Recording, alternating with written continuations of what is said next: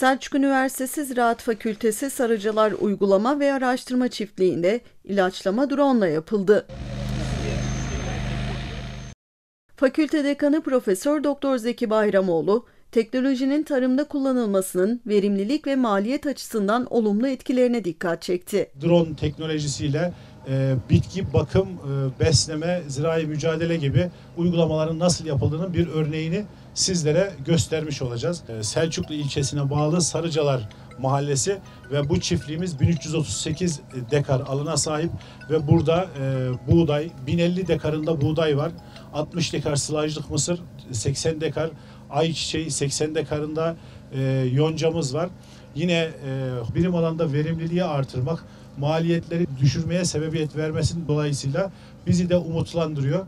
Ziraat Fakültesi Bitki Koruma Bölümü Başkanı Profesör Doktor Nuh Boyraz da tarımsal mücadelenin etkin bir şekilde yapılması gerektiğini vurguladı. Alet ve ekipmanı seçmek ve bu alet ve ekipmanla doğru zamanda ilacın atılmasını sağlamak zirai mücadelede elde edilebilecek en önemli başarıdır.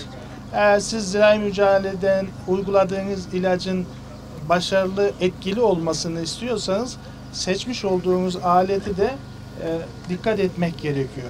Bu teknolojilerin geliştirilmesindeki amaç efektif ilaçlamayı yapmak, daha az zamanda, daha az masrafla daha etkili bir ilaçlamayı sağlamak amacıyla bu tip e, tarımsal mücadele alet ve ekipmanları geliştirilmiştir.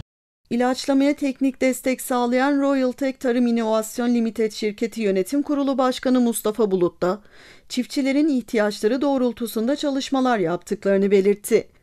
Bu teknolojiyle e, biz başlangıç olarak çiftçilerimizin ihtiyaçlarına cevap verebilmek adına e, bir cihaz getirerek başladık öncelikle.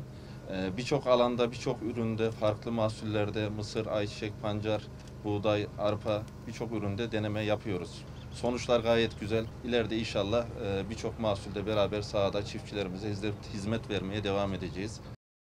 Royal Tech firmasına ait drone ile ilaçlama yapıldı. Öğrenciler teknolojinin tarımsal mücadeleye getirdiği kolaylığı yerinde gördü.